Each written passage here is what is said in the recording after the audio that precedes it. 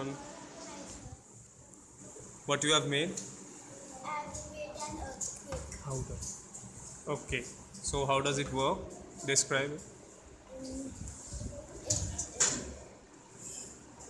First? First, from the starting point, it will go and uh, crash uh, and it will hit buildings with a very,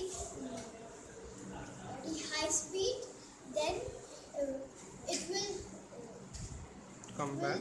Come back after few minutes? after a few minutes with a lesser amount of speed? lesser amount of speed from the and opposite it will hit the same um, buildings uh, which it hit before. From the opposite direction. from the opposite direction and the uh, and the building will fall. Okay. So where is your program?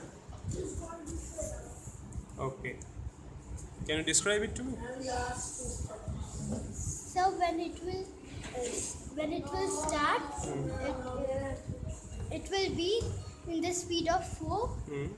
and it will the motor will rotate the motor will rotate in anti-clock uh, Anti-clockwise? di- uh, di- Direction. direction and it will uh, show the an Orange. orange, color which um, indi- orange color which indicates w- warning.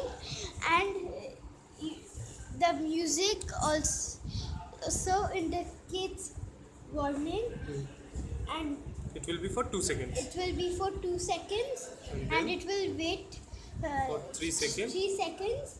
And it will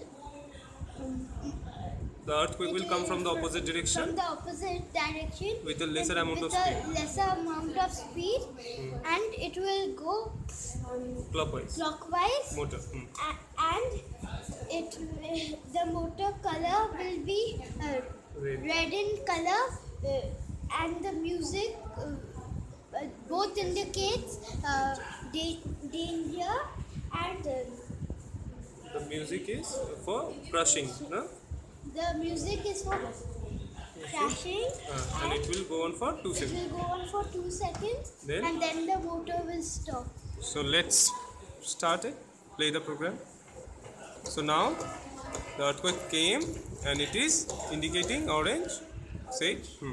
it's indicating orange. It's waiting for three uh, seconds. And then it came back from the opposite side. But now with less more amount of damage okay? And lesser speed okay